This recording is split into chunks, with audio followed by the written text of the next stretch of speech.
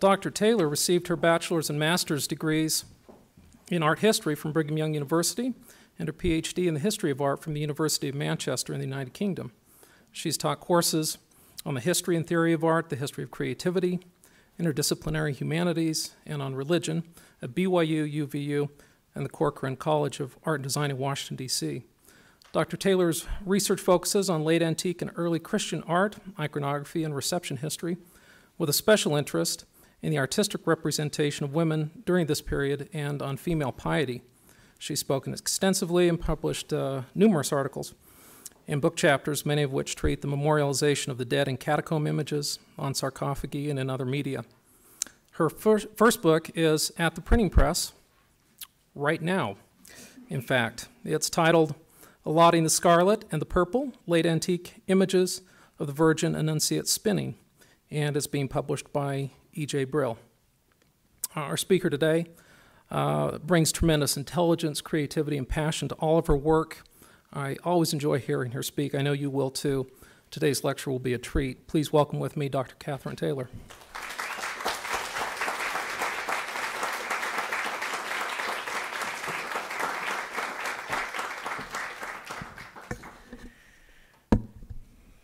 I want to welcome you all here today on this All Souls Day. As a predominantly LDS audience, you're probably familiar with All Hallows Eve that we've just had, right? And perhaps even All Saints Day. But I find today particularly poignant for this talk because All Souls Day is the day when all the souls of the dead were traditionally honored, not just saints or popes or important elite, but all souls. These souls, especially as they are memorialized within the earliest Christian years, fascinate me. Outside the Roman city walls of the ancient city of Arles in southern France is a large necropolis, or city of the dead. You might recognize the name of this place, known provincially as Les Alyscamps. In other translations, in French, for example, it would be the Champs Elysees in Latin, the Elysii Campi, or in English, the Elysian Fields, the resting place of souls, heroic and virtuous. Constantine himself favored this city, and from the era of late antiquity, it became an important Christian base with its own Catholic bishopric, and it was popular well into the fifth century it was common for roads leading out of Roman cities to be lined with tombs, mausolea, and even martyrium churches. The Elysian fields in Arles were highly desirable places for burial, especially after St. Genesius and St. Trophimus were buried there. By the fourth century, several thousand tombs filled the necropolis, and sarcophagi were stacked up to three layers deep. Dante Alighieri immortalizes the spot in Canto 9 of the Inferno, where he mentions that sepulchres are so numerous that they make the ground uneven. The cemetery here was later looted during the Renaissance, but many of the larger sarcophagi still line the lanes and are piled up around the Martyrium Church. Famous artists like Paul Gauguin and Vincent van Gogh painted here, capturing a late 19th century autumn view of the lane lined with poplar trees.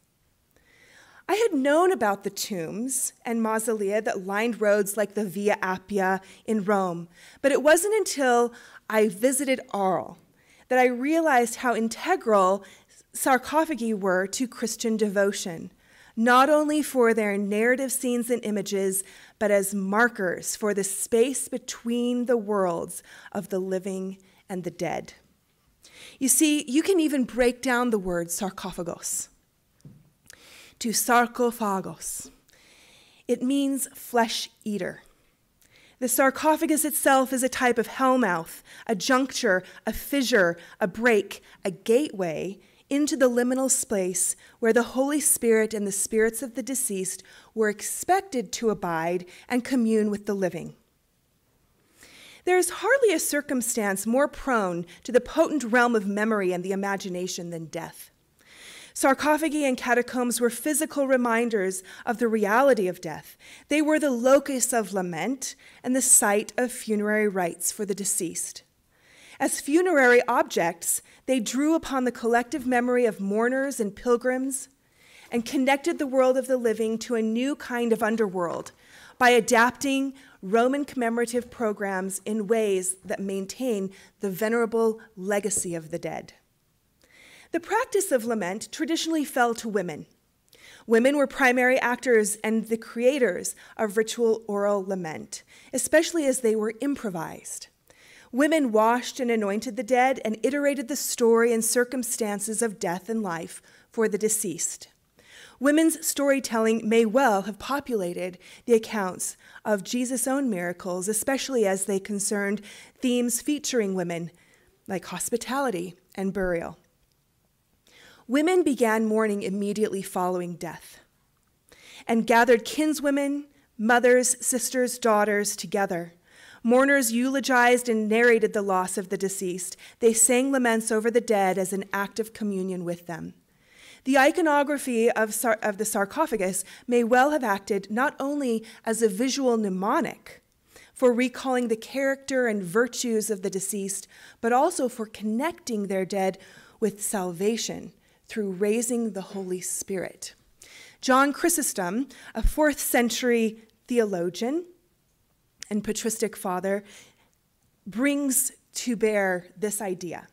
Visions of death and the visage of the deceased were not far from the eyes and the imagination of early Christians. Chrysostom associated the vision of funerary, funerary piety with night vigils and specifically cites women as those watchful souls who, quote, go into the country and, quote, watch through the whole night. The countryside journey was associated with vigils specifically kept in cemeteries and at tombs. More formally, Chrysostom references the established patristic tradition of, quote, passing over the houses of prayer in the cities, so moving past churches and cities, and that the fathers had, quote, ordained that we should hold our assemblies today outside the city and here. He's underscoring the celebrations of Maundy Thursday into Good Friday with the focus on the sacrificial lamb in similitude of Christ crucified, and that Mass was to be held in cemetery churches because it was in the midst of all the faithful dead. Today, we're going to explore in brief how biblical women were strategically represented in the world of memorial as archetypal gatekeepers. We're going to look at Rahab and her matrilineal covenant. We'll look at Susanna and woman wisdom. And we will look at Mary, the mother of Jesus, as a virtuous creatrix. The iconographic systems associated with these women reveal their place as figures that initiate three salvific ministries that of Joshua, that of Daniel, both close types of Christ, and that of Jesus himself. Our first gatekeeper, Rahab, in the matrilineal covenant. Rahab's story is found in Joshua 2 and 6.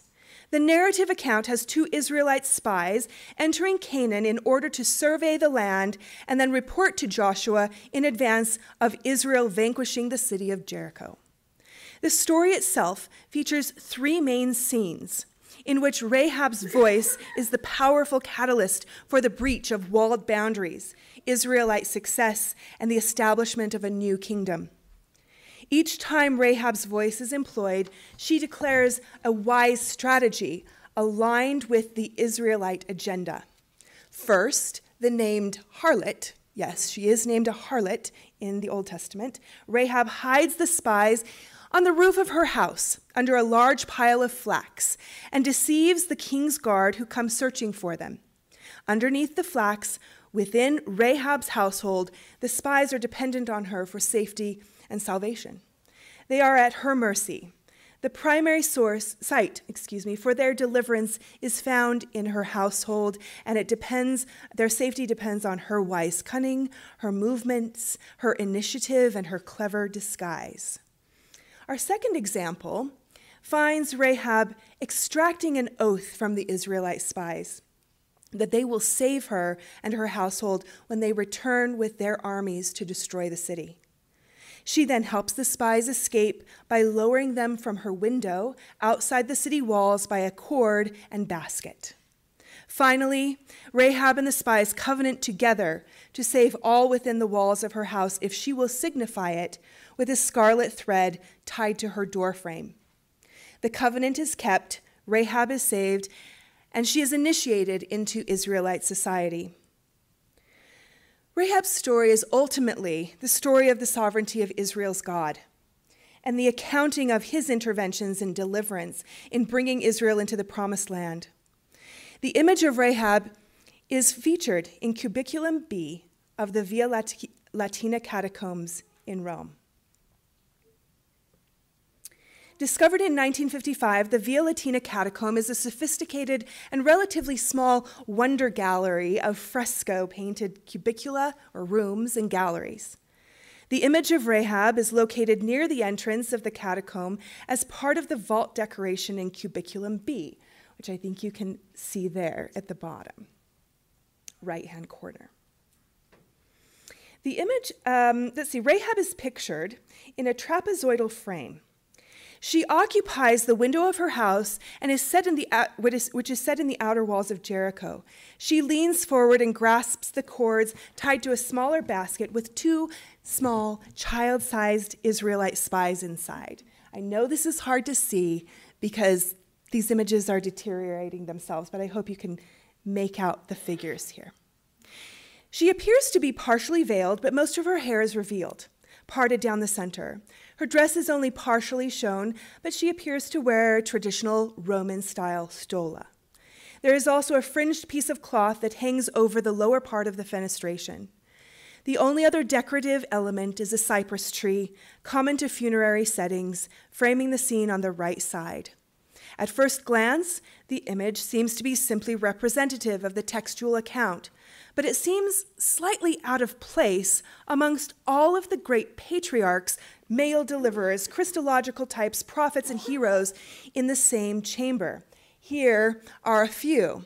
And if you move back into the chamber just beyond Cubiculum B, you'll find a, an intricate series of images detailing Moses' extraction of the Israelites from Egypt and Joshua's deliverance of them into Canaan. I suggest that the vault image of Rahab, viewed just here as one enters the cubiculum, seems to be an image of initiation and a connecting figure or link between the patriarchal promises made to Israel and the matriarchal strategists that physically ensured its inheritance. Why would I make that leap? Because 30 feet away is Cubiculum A. Cubiculum A, B, and C were all built and decorated, dug out and decorated at the same time, between the years about 310 and 325. In Cubiculum A, there are women, lots of them, six, that are cited as major actors within their own narratives. These women include Eve, alongside fallen Adam, Rebecca at Isaac's meal, securing the birthright blessing for Jacob, Susanna and the elders, surrounded by the fountains of her garden, Tamar, seated and approached by her father in law, Judah, Job's wife, serving him bread, and Mary at the adoration of the uh, of the Magi. I suggest that the identity and sheer number of women featured in Cubiculum A, along with many of their matrilineal connections to Christ, reflect some schools of patristic thought and may indicate the influence of a female patron in suggesting the iconographic program. The proximity of these women to the vault image of Rahab in the next chamber conceptually ties the cubicula together in a way that suggests that Rahab is also one amongst their ranks of patriarchal wives and matronly virtue. This may sound surprising considering who Rahab is, right? Joshua 2 is one of the richest narratives in the entire book. The literary elements include irony, humor, symbolism, suspense, threat, and sexual innuendo, and the triumph of an unlikely heroine. The innuendo is in her name. It's, her name is connected to her profession, and it's also connected to the expansion of the kingdom of Israel, ironically. Textual expressions concerning the Israelite spies who entered, came into, and spent the night or lay down or double entendre, and intimate, it intimates a relationship between Rahab and the spies slash Israel. Effectually, the symbolism is fraught with sexual connection, and eventually the marriage between Rahab and Salmon, according to Matthew, uh, or possibly uh, Joshua himself in the rabbinic tradition, creates the matrilineal tie to the lineage of Jesus. Despite the reader's association of Rahab, explicitly called prostitute, with sexual deviation from the holiness boundaries of Israel, she, like Tamar and Susanna from the book of Daniel, she is also a savvy character. She not only thwarts the king's guard, but negotiates an oath that will preserve her familial household. Moreover, her ability to be saved seems to hinge on her knowledge and acknowledgement of the God of Israel's sovereignty. Above all, it is Rahab's speech, her voice, that identifies her as set apart as the keeper of a particular kind of prophetic knowledge. She is the unlikely gatekeeper, establishing the success of Israel, for Joshua does not enter Canaan without Rahab. Still, one would expect the inclusion of Rahab alongside the great patriarchs and the male heroes of the Old Testament to be somewhat irregular and curious. That's because we've overlooked the iconographic visual part of the catacomb and the symbolic parallels between the images of Joshua and their relationship with Rahab, her household, the window, the binding thread, the scarlet cord in the narrative. Rahab's scarlet cord and its relation to the blood of Christ in the Passover is the subject of early patristic comment. Both Clement of Rome and Origen make a point of commenting on Rahab's ability to prophesy. Origen specifically envisions Rahab as a prophetic figure when he maintains, quote, born a pagan, Rahab was now, fully, was now full of the Holy Spirit, giving testimony to the past, faith for the present, and prophecy for the future, end quote. However, even these interpretations are relatively narrow and ignore the layered matrilineal iconographic elements associated with Rahab. Her window is established as a type of delineating border here. It becomes the symbolic element in understanding her image. If the book of Joshua is a typological account of the mysteries of Christ, and Rahab is pre- presented in detail at the beginning of the text, clearly she is an initiatory wisdom figure, an apotropaic protector, even a foil type for Mary, the necessary guardian at the gate.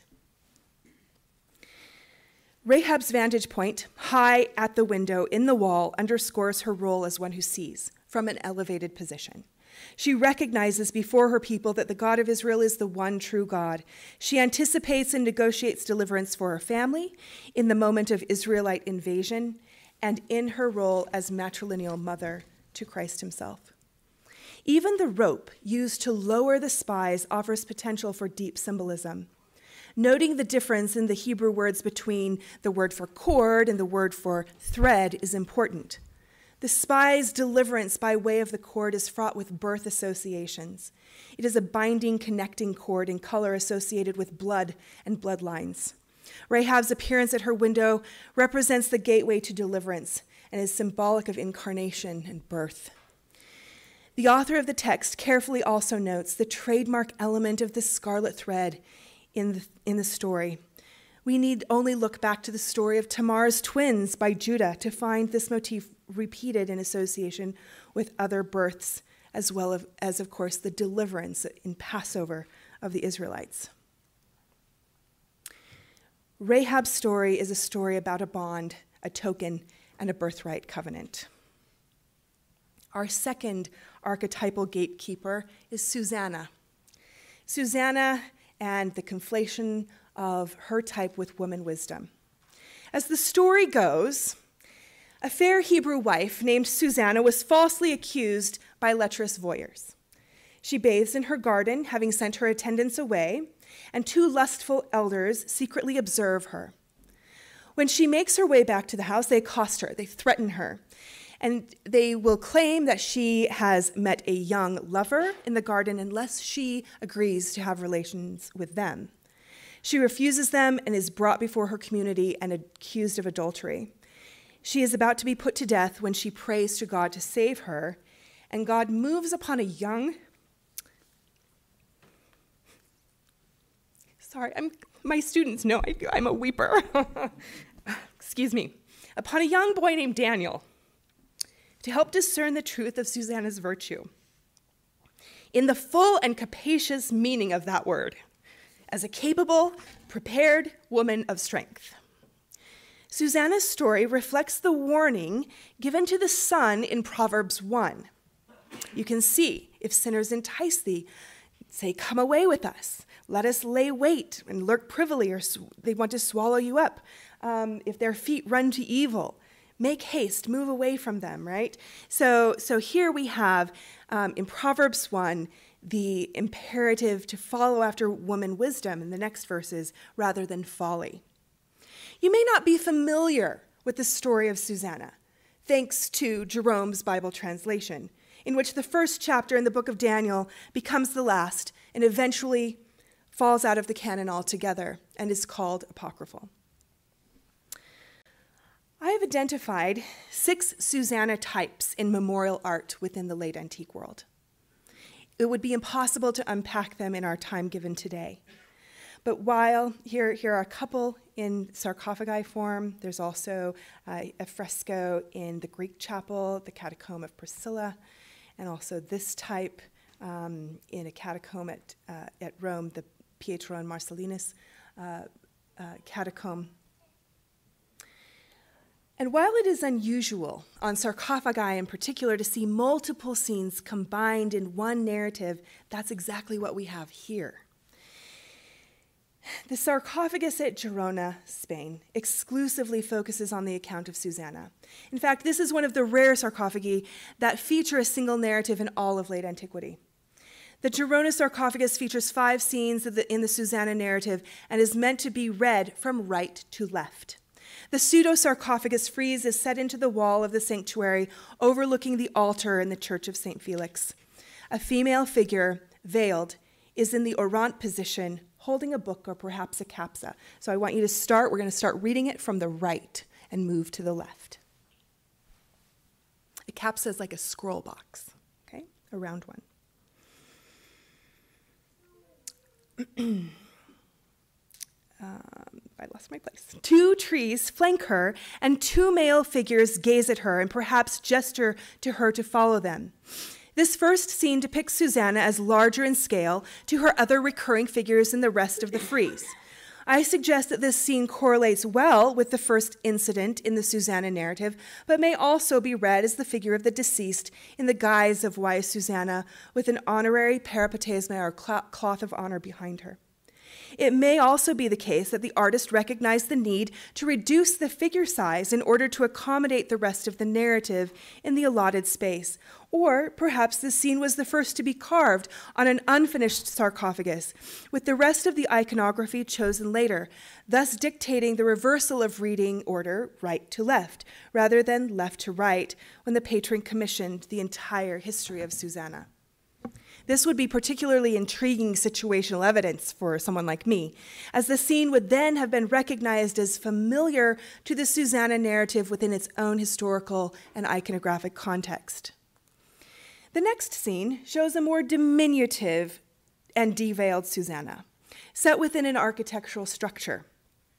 Here, Susanna has been formally taken by the elders and publicly accused of adultery, Notice that she still retains the capsa or round scroll box at her feet, a clear indicator of her knowledge of the law of God. Also, two small figures, one male and one female, stand behind the elders, perhaps associated with Susanna's parents, who taught her, according to Scripture, the law of the Lord in parallel to the Scripture we saw about the Son in Proverbs 1 9 through 10, who was taught in the instruction of the Father and the law of the Mother. The story quickly evolves as the false elders are officially seated with footstools. They point and accuse her in company of her community, indicated by the multitude of figures gathered around them.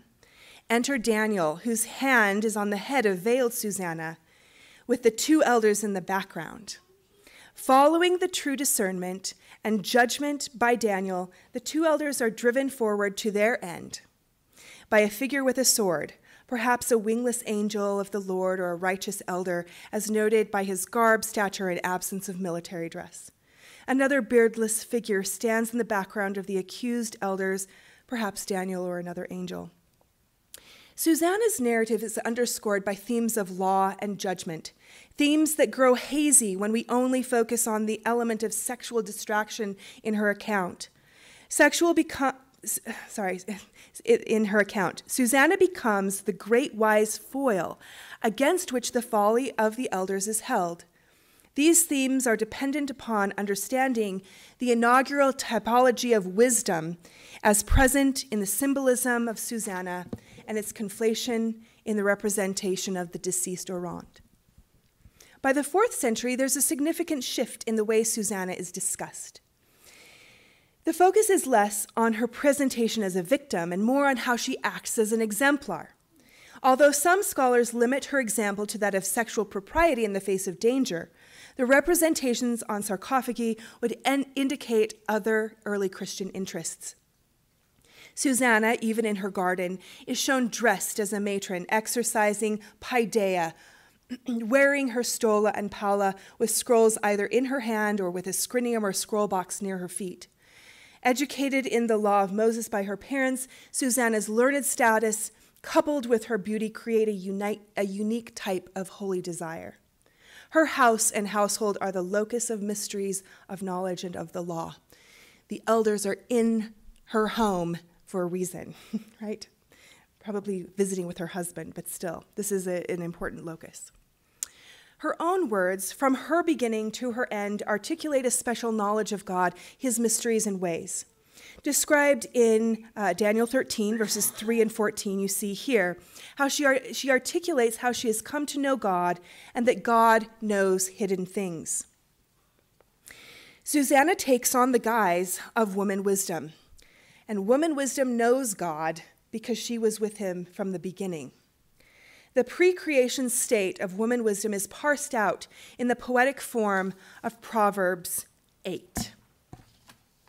You can see here um, how woman wisdom speaks in uh, cohort with uh, Yahweh, right? The Lord begot me, I was brought forth. Before he had not made the earth, I was there, right? When he inscribed the foundations of the earth, then I was beside him as a master workman. I was his delight.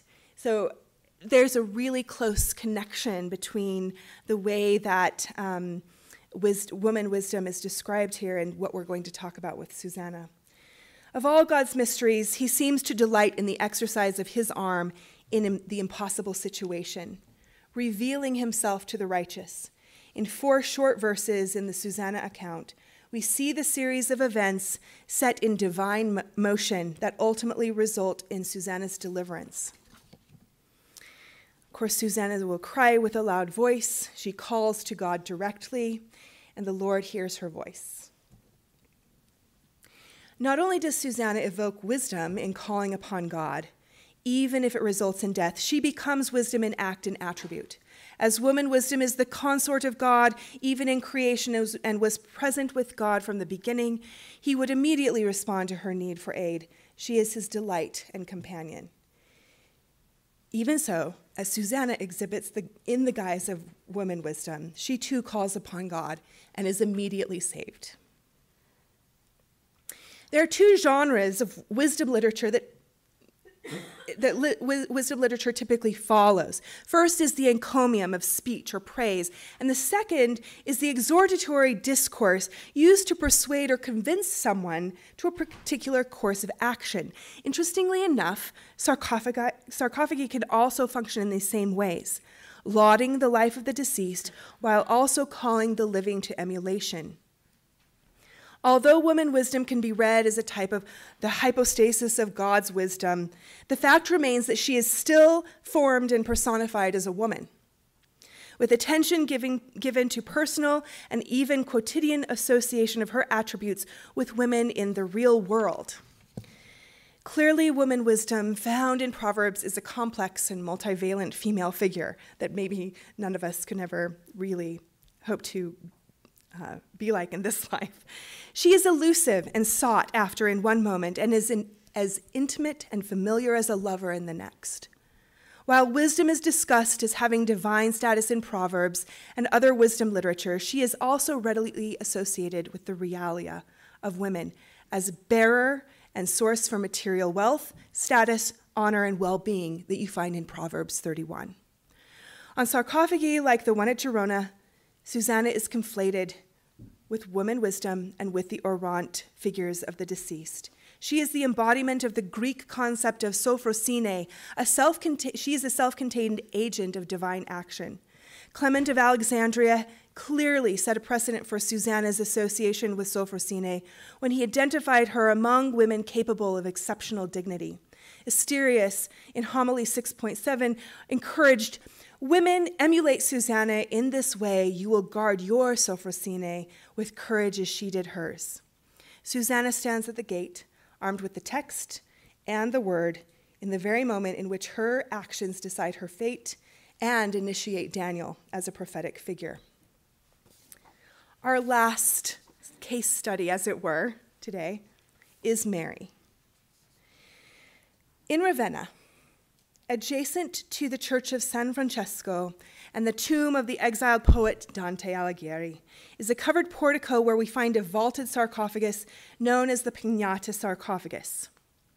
This monumental tomb was meant to house and protect multiple deceased, but was also designed to be viewed by the living. It dates to no later than the 5th century. Four scenes are present on the sarcophagus. First, the presentation of the apocalyptic Christ enthroned on the front, a stag and doe drinking from a wide necked crater on the back, Mary as the Virgin Annunciate spinning the scarlet and the purple for the veil of the temple on the right side short end, and a newly attributed scene of Christ appearing to Mary Magdalene um, on the left short side and end. Sorry, that was so immature. Uh, it was very exciting though. Um, This specific iconography, chosen for the short ends of the sarcophagus, demonstrates a tether to Mariological themes and demonstrates parity, if not pre- preference, for female actors at the Christological gates of incarnation and resurrection. The Annunciation scene with Mary seated on a low stool, drawing fiber ropes vertically to her staff from a large woven basket, is described in the second century Proto Evangelium of James.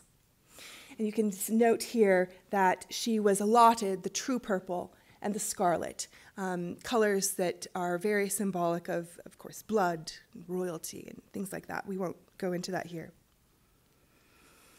Her pose is characteristically classical as she sits in profile, facing the angel Gabriel. It's traditionally, this pose is also traditionally associated with representations of goddesses, like Ceres and the Roman Magna Mater, Great Mother, as well as on numismatic evidence where female members of the imperial household take seated profile or three quarter poses demonstrating their pudicitia, or their, their socially pious, modest behavior.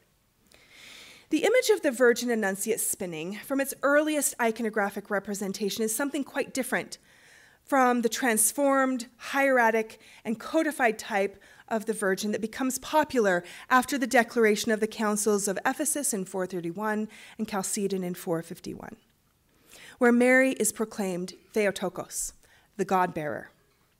Later, Byzantine examples will find the stylized virgin enthroned or standing, clothed in imperial purple, and even wearing the scarlet shoes of the Basilissa, the empress. This formal idealization of Mary inherently separated her from the ordinary matronage and purpose and, and from her ordinary matronage and purposefully created an inaccessible Marian type in accordance with ecclesiastical agendas. Be sure of that. In contrast to this later trend, the sarcophagus right and end shows the Virgin wearing a simple stola and a palla wrapped around her shoulders and draped over her head. Mary's gaze, as assumed by the placement of her face, is directed simultaneously toward her handiwork and Gabriel. The angel Gabriel faces Mary on our right, and though he does not appear to be stepping forward or advancing, his body is slightly inclined toward her. His right hand is raised in salutation and appears to be grasping the remaining fragment of a staff, while his left hand holds his garment in front of him. Gabriel's wings are large and reach the top of his head to his knees with a span that doubles the width of his body. The angel's attire features a long tunic and toga, and he's presented in three quarter pose. When we place the Annunciation scene found here on this sarcophagus next to other images that depict young women and matrons spinning, we find some thematic continuities that are adapted from the Roman world into Christian art. Images of spinning and woolworking were commonly associated with wives, mothers, young women throughout antiquity, and never with the ascetic renunciation of those roles. An example, um, which I'm going to skip to here, is uh, on the frieze of the Forum Transitorium, which depicts Minerva teaching young women and matrons to spin and weave scenes which predate the earliest Annunciation scenes by mere decades. Here, craft, domesticity, industriousness, civic duty are intricately connected in the character of both the goddess Minerva and the virtuous Roman matron, in high contrast to more ascetic practices. Associating the Virgin with the spindle and distaff helped lend the new Christian faith credibility because those symbols were already associated with virtue and civic order. The Roman uh, mores maiorum, right, the values that were easily translatable into Christian iconography. Of course, there are um, early marked epitaphs that are very simple um, that said lanum fecit, or she worked with wool, uh, or she made, uh, made with wool used throughout the empire as a final memorial to industrious wives and mothers. Um, but there's also a panoply, uh, or panoply, sorry, of other small domestic type objects that women owned and used, like pilgrim tokens, textiles, marriage rings, and cosmetic pyxis jars to name only one tradition that we can look back to to draw out meaning from uh, the spinning motif, we can look to early Greek history, where spinning was used as a symbol of life force, creation, wisdom, binding, and mending. For the Greeks, fate was spun as a thread along a linear progression of time. According to the Greek literary tradition, the moirai, or fates, were three in number the spinner who spun out the thread of life, one who allotted or measured the span of that life, and one who cut and ended life, cut the thread and ended life. Their mother, the three fates' mother, was Ananke, the great goddess of the universe, uh, alongside her consort Chronos, who spun out the threads of time and space with the celestial bodies of the sun, moon, and planets acting as her whorls with Ananke personifying the ordered workings of the universe and her daughters representing the continuum of life past, present, and future, it is no wonder that to wield a spindle had deep ideological, spiritual, philosophical, and practical meanings, attributes adapted by the early Christians for the Mother of God. By adapting the antique trope of spinning for the Virgin, the Pignatta sarcophagus provides early evidence that the spindle was a specific signifier of matronly virtue, associated in very quotidian ways with the very creatrix of the body of Christ, in Mary. Now set within the context of Christian death and burial, the devotional side of salvation through the Word made flesh was by her body.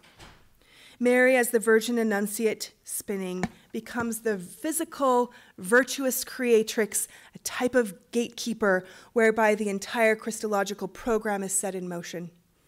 The domestic image of Mary spinning makes a bold statement against the exclusivity of ascetic practices meant to remove spiritual life from the household and instead directly situates the emulation of holy behavior well within the reach of ordinary early Christian women. They could see themselves, like Mary, as essential to the divine economy.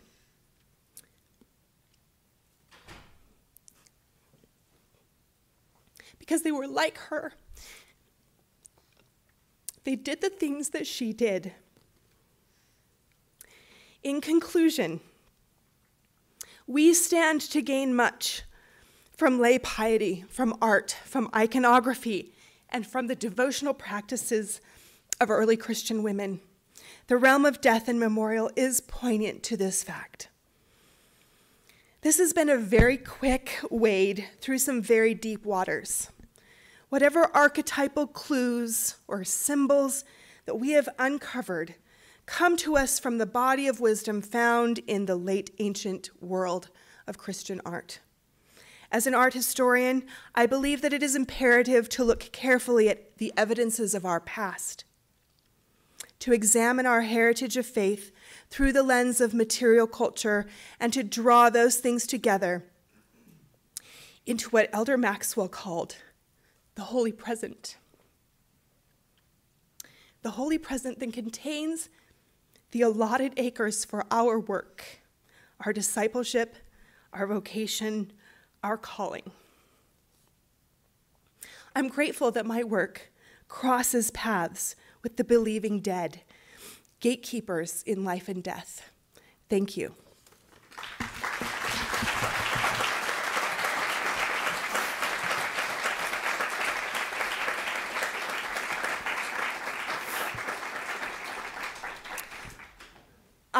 Am willing and able to take um, some questions here for the next few minutes. I know we want to be respectful of time and your, your time as well as others who may need this space. Um, but before I field any questions, I want to say a deep and heartfelt thanks to my colleagues at the Maxwell Institute for providing an academic home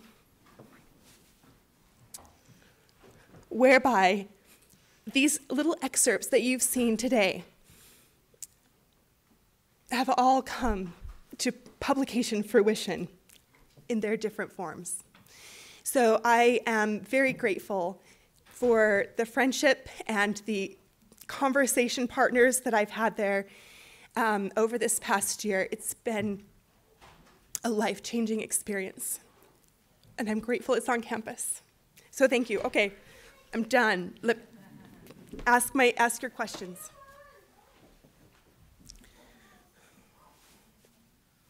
Yes, Lyndon.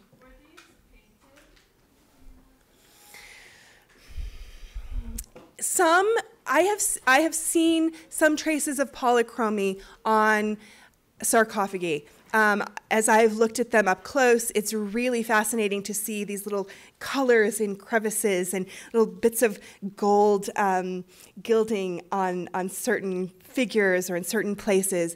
So I, I can't say definitively that they all were, but um, I, I would say that they, they were, in some instances, uh, painted. There was, there was polychromy.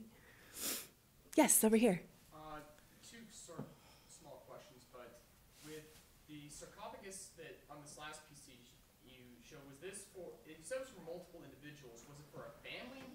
Mm. Who was buried in it? Yeah, so um, it is really large. Okay, if I were to stand next to this sarcophagus, it would be, it's taller, than, the, the, the cap is taller than my head, okay, the lid. Um, it is unfortunate that we do not have um, clear records as to, you know, all the way back to the fifth century that might tell us who was buried here. But um, it is likely that there would be, because it's such a costly, precious, amazing object, um, it's likely that the family would use uh, the sarcophagus over and over again. You'd place the body in, sprinkle it with lime, let it deteriorate, um, and reuse it. Okay, another uh, relating from the way the beginning of this presentation was all those sarcophagi that were uh, that were seen to line streets. Who were buried in all of those? Just so I'm Okay, so um, the burial grounds, the Champs Elysees, right, the Elysian Fields at Arles, were in use um, in the Roman period. So, so, um, and then it becomes even more popular to be buried there. Uh, some sarcophagi were brought to that location even by boat because people wanted to be buried next to particular saints there. So you've got really probably a mix of, of people who live in the area, Christian, non Christian. Um, the, the sarcophagi that are still there lining the, the streets, the road, um, are in, they are weathered, shall we say. Um, but many of the best figural decorative uh, sarcophagi are preserved. There's a wonderful um, museum in Arles. Um, Mark, you, you, you're, I, I can see your face nodding there, uh, that preserved some of the kind of the finest examples. Where can you find the apocryphal Daniel in the story of Susanna? If it's not in the King James version. No, it's not. Not anymore. Um, you can go online. There are uh, it's it's there. It's right there. It's Daniel 13. I think there are other. Sorry, I'm not I'm I'm not a text person per se, but um, uh, thank you, thank you, Jason. HarperCollins Study Bible. Actually, yeah, that you're right. That's exactly where I saw it. okay. Uh, much of the Apocrypha was uh, included in the original King James, but was essentially most of it was taken out during the, oddly enough, or interesting enough, during the time of Joseph Smith. That's when a lot of it was taken away or out of most publications of King James. I um, I would defer to my biblical scholars in here. I'm yeah. It, there there are some really. Uh, thank you for your comment. I would verify with others. Thank you. Yes, over here. not a biblical scholar, but in the Catholic tradition, the Apocrypha usually included. Okay. Uh, So like the Revised Standard Version with the Apocrypha does include Susanna. Yeah, and, and I think it's found Daniel 13. It's the it's placed there, although in its I do know enough to know that in its original um, position it would have been chapter one. Yeah. May I ask a question? Yes. Uh, in your introduction, you talked about the role of women uh, in death rituals and Mhm. murder. What do we know about how that evolved? I mean, is it as simplistic as women are present, are the portal, if you will, to mortal life, and so also are at the conclusion of mortal life? I think. that? Um, I think that they find themselves taking up those roles. Um, we know a little bit about it within the late ancient Christian world because patristic fathers are commenting on.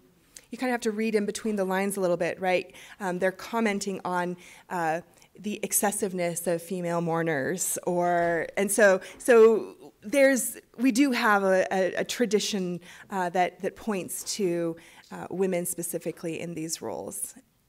And I can point you to some additional bibliography if you're curious. Yes.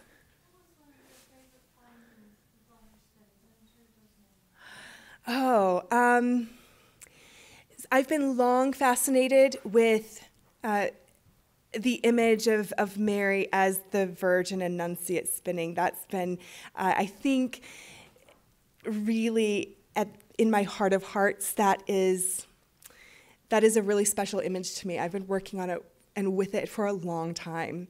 Um, I think it reveals a lot to us about the early devotions of, of women, um, and it reveals a lot to us about the way that women were thought of in, in those kind of more capacious roles than we tend to think that they were in the early church. Yeah. I think our time is about up. So thank you once again. We could all give